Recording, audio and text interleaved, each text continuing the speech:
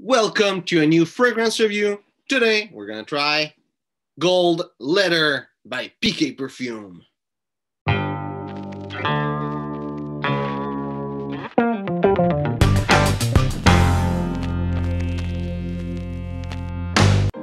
So, it's a sample. I mean, you probably saw the other video I did about PK Perfume. If you didn't, well, made bunch of other one. The first one was with Madera de Oriente Oscuro, which I did also in an unboxing or box content reveal because I did the unboxing before and I just showed what was inside. And you know, I there's gold leather and red leather, red, weirdly. It's just that I tried some of them that was interesting and now I was around the gold and red leather and I was like, hey, it could be a good idea. Like just before what I had to do. It could have been that I already would have done them, but anyway, I thought it was a good idea to do that. We're now gonna try the smell. So, gold leather for me doesn't smell like leather. It's a nice guayaba. I'm looking at the note breakdown on Fragrantica. It says guava, whatever, some kind of fruit that might appear somewhere here. And it really that's that that's the whole theme of the fragrance. I I think Paul said that it, he tried to make another note than Guayaba, and it was Guayaba that really got out. I'm not quite sure. Maybe you will be in the comment answering this. If you watch this, Paul, write in the comment what you have told me what was your goal with this fragrance. But really it's not because it doesn't smell leather that it's bad fragrance. It's just that it smells not leather so strong guayaba smell. Smells good. It's a bit uh, gourmand even if I hate that term. Um, I think I can pick up some Immortel and there is some ylang ylang that I'm picking on the paper. I'm not picking up the ylang ylang in uh, my skin though. I'm also getting some tuberose. And I would say that the tuberose is subtle because the guayaba smell kind of makes it hidden. But if there wouldn't be the guayaba smell, the tuberose will be much more stronger and is also not a note that I'm picking up on my skin. I get also some spicy notes. It smells like so like hidden at the back.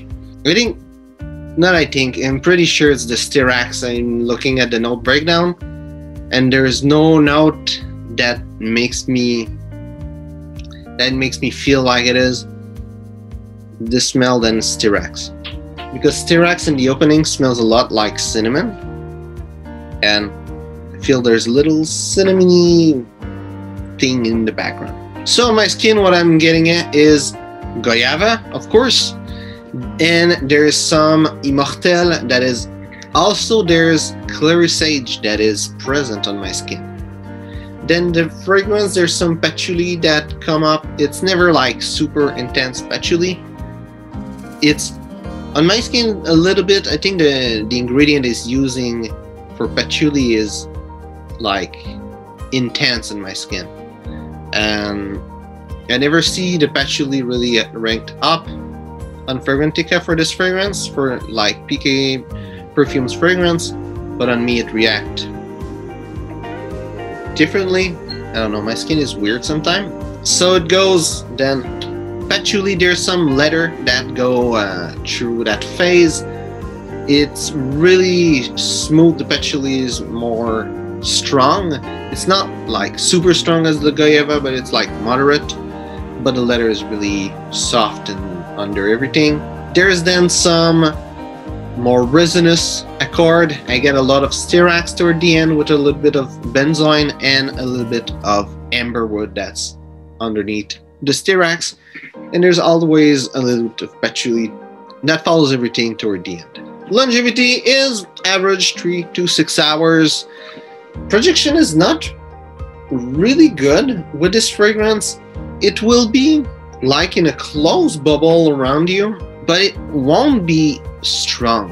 It won't be like someone getting like within the social distancing area and smelling and be like, oh, wow, you smell good. That will probably not happen.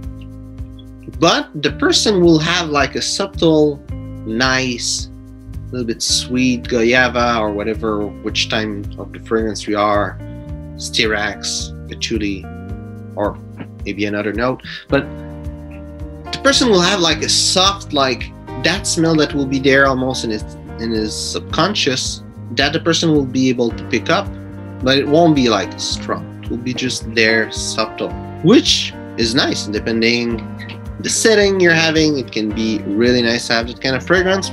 Last average time, people will pick up, but softly. For me, this fragrance it's a little bit more feminine because of the guayaba. For me, it's more of a feminine note. Even though it, it's still unisex, it's just leaning a little bit. And where I would see this fragrance, definitely not as a business fragrance. I don't think it gives any serious, like uh, some fruity smell. I mean, if you're working in something that goes around fruits, I would get it and it would work. You know, if you're uh, having a business where you're importing guava from another country to your country could work. I think every fragrance somehow could work in every setting, so depending the person, but I wouldn't really see it as a business fragrance. As a dating fragrance could be nice, it smells good. The little fruitiness in the beginning, it's nice, it's sweet, and then it become more resinous. It smells good think, especially if you're a woman as a dating fragrance, it could be nice. It's fruity, almost something you'd like to eat, and it's always, you know, gourmand fragrance are usually good for dating.